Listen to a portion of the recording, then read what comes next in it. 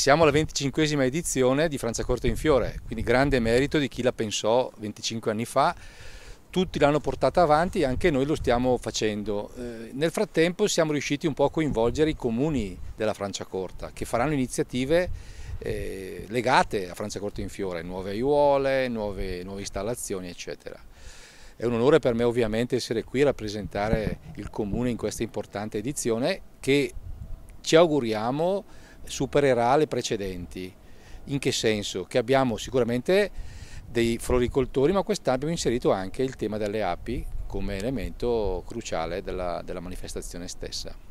Presentata presso il castello di Bornato la 25esima edizione di Franciacorta in Fiore, che si terrà i giorni 17, 18 e 19 maggio. Significativo il tema di quest'anno, fiori e api, essenza di vita e dolcezza infinita, due elementi fondamentali per il benessere del nostro ecosistema. Le iscrizioni per gli espositori sono aperte fino al 17 di aprile e i biglietti acquistabili in loco oppure sul sito www.franciacortainfiore.it.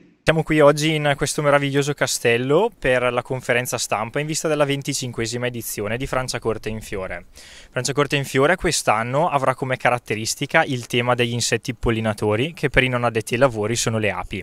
Abbiamo quindi declinato il tema come eh, fiori api, essenza di vita e dolcezza infinita e abbiamo tante, eh, tante attività previste per Franciacorta in Fiore proprio inerenti al tema api. Avremo un convegno in collaborazione con Fondazione Cogeme e addirittura la fine del convegno ci sarà una degustazione di miele ad opera degli apicoltori locali.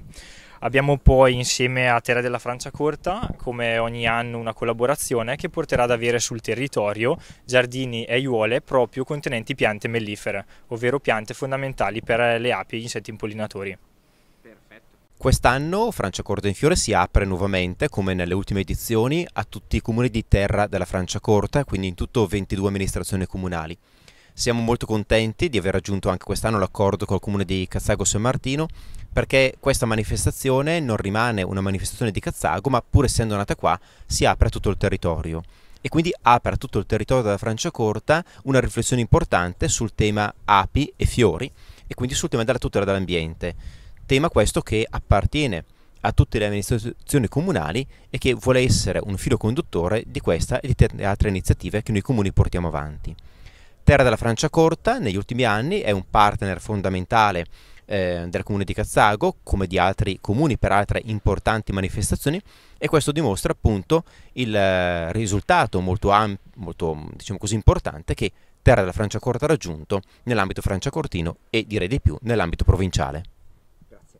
Sono Claudio Vertuan, presidente dell'Associazione Apicoltori della provincia di Brescia e dell'Associazione regionale Apicoltori Lombardi. Sono molto contento di questo tema che viene dato quest'anno Franciacorta in Fiore perché c'è un collegamento fra le api e i fiori. Le api hanno bisogno di fiori e i fiori per essere impollinati hanno bisogno delle api, ma poi il collegamento con quello che è l'ambiente perché è molto importante perché le api hanno bisogno di un ambiente sano e di un ambiente con molta biodiversità non solo per produrre il miele, ma anche per la loro sopravvivenza.